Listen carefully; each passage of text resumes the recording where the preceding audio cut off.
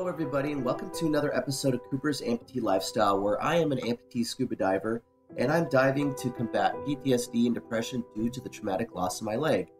And on today's adventures, we are going to be down here in Cozumel, Mexico. We're going to be just west of the Cozumel Island, and we're going to be diving on a shipwreck. While we are touring this shipwreck, I'm going to narrate to you about this shipwreck. This is the C 53 shipwreck down here in Cozumel, Mexico. The C 53 was built in Tampa in 1944 at Wilson Marine Shipworks. It was billed as a minesweeper for the service during World War II, named under Scuffles. The C 53 is 184 feet long, 33 feet wide.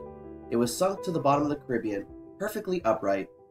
It rests on the seabed in 70 feet from the surface. The shipwreck stands 40 feet from the seabed, permitting divers to reach the wreck by descending just 30 feet from the surface. C 53 wreck, originally named Scuffle, is a minesweeper.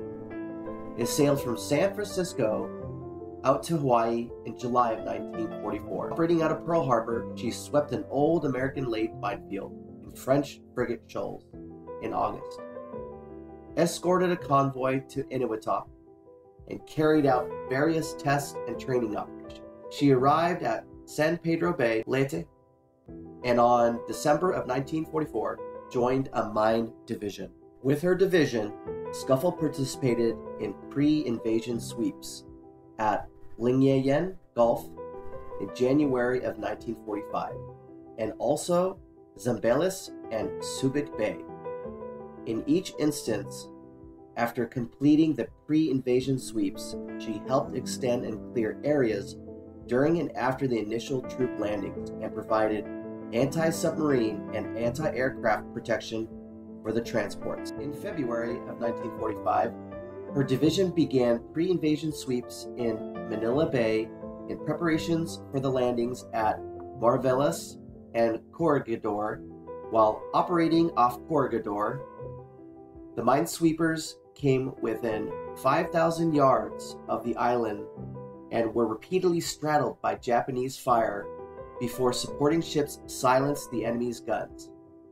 Scuffle continued sweeping in Manila Bay throughout February, and her unit earned a Navy unit commendation for her operation. Towards the end of February, Scuffle re entered Manila Bay to help clear of mines and submerged wrecks. Her force, plus the salvage ship cable, accomplished the task almost by mid April, sweeping 615 square miles of water and opening the harbor to supply ships. Towards the end of April, she rejoined the mine division. And in an eight day sweep of Sulu Sea of Palawan in May, the minesweeper arrived at Morotai to prepare for operations in the Netherlands and East Indies. Our dive guide Julian is pointing at the holes in the C 53 wreck scuffles. This is where they originally blew up the sides of the ship to help sink it in its current position right now. Well, this looks like somebody just lost their hat. So I'm just going to grab this hat, pick it up, and I'll give it to the boat operators and hopefully they can get it back to its original owner. It looks like a nice hat, but sadly, I don't think it will fit me. Well, let's get back to our story. In early June, Scuffle sailed for Morotai with her division to carry out pre invasion sweeps in Brunei Bay. She ran around a reef a week later, damaging her screw, but was able to carry out her assigned sweeps before sailing on in mid June to Subic Bay for repairs. She rejoined her division in the end of June and was off Balikpapan and provided support performing the pre-invasion sweep. She left Balikpapan in July and returned to Subic Bay for a month of overhaul. Scuffle's task group received a Presidential Unit citation for its service off Balikpapan. The minesweeper left the Philippines on September 6th and arrived at Sasebo, Japan on the 20th of October after weathering three typhoons while en route. She helped sweep the Japanese minefields in Tsushima Strait and Ryukyu Islands until sailing from Sasebo home in the 9th of December. Arriving at Orange, Texas on the 2nd of April 1946, she was decommissioned there on the 19th of June in 1946 and placed in reserve. The ship was reclassified MSF 298 effective the 7th of February 1955. She was struck from the Navy list on the 1st of May 1962 and transferred to Mexico on the 1st of October 1962. Scuffle received five battle stars for her World War II service. In 1962, the Mexican Navy purchased Scuffle and converted her to an Admiral class gunboat and gave her a new name, Leap C 53. From 1962 to 1999, she patrolled the Gulf of Mexico and the Mexican Caribbean Sea, serving in rescue missions, patrolling for illegal drugs and illegal firearms. After 55 years of service, C 53 Scuffles was decommissioned and later donated to the Cozumel Underwater Park. It was sunk in Cozumel, June of 2000. The location chosen for the wreck is just offshore of Park. The site was selected for many reasons, including easy access for divers in an area sheltered from strong currents. It was logged on a big sandbar where the ship will not cause any damage to any existing reef surfaces.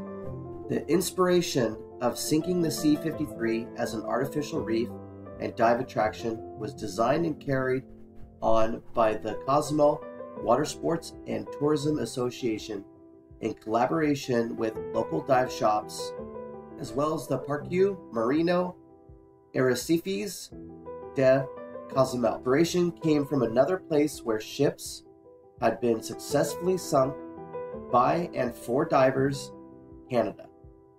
This project started in 1998 at a DEMA show. Canadians were making artificial reefs for their diving areas by getting old boats from the government, cleaning and preparing them for sinking, and then diving them. This inspired Cozumel to do the same. The plan behind its sinking was to create an alternate site to help divers go to to help the traffic on nearby reefs. This dive site, the C53, is a great dive site to explore. It's very easy. It's got a lot of large openings for penetrating the wreck. The site is also known to have some occasional strong currents, making it sometimes a little challenging to navigate. It has easy access from all sides, and it's at a depth that can be dove as a first or second dive. Some marine life that you may encounter while diving here. Inside, you may see a giant green moray eel, glassy sweepers, and depending on the season, shoals and sardines. Sponges and corals are starting to form thick colonies on the metal of the wreck. And if you look carefully for tiny blennies and starfish or cleaner ship, for your macro opportunities. The exterior of the wreck remains relatively clean, likely due to the constant currents, but it boasts a great variety of marine life and sponges. Large schools of barracuda are frequent this site, with groupers, moray eels, and a wide variety of other fish. There's Julian, our dive guide. Looks like he's a buoyancy master. Let's continue on. All of the resources that I have used to narrate this video will be listed in the description below for any of you to click on and read and enjoy. Now let's continue checking out the ship and exploring it, and I'll narrate what we are seeing. Quite a few divers on this wreck. It's a busy day down here in Cozumel, Mexico. There's some really good clear waters. I would say visibility is well over 100 feet vis nice blue waters, a lot of variety of life on the ship, inside and out. On this particular day, on the port side of the ship, there wasn't very much current, But as we came around the front of the ship and started going back on the starboard side, there was a great deal of current. It wasn't too bad once you end up just getting way around a corner or inside the ship. A little bit of a break from the current where you can actually just take it easy and enjoy the view and the marine life. So this fish right here is a sand diver. They're typically 10 to 35 centimeters in length. Here we have a couple of little trumpet fish just hanging out inside these little areas where there's little sponges and coral. Here's a pretty decent sized basket sponge that has just decided to grow right here. These fish right here are called, these are pretty amazing. Great color and contrast, the way the yellow and the black and a little bit of white, silver shining. These are pretty cool. They are just kind of hanging out eating. Typically, their size about 15 to 25 centimeters in length.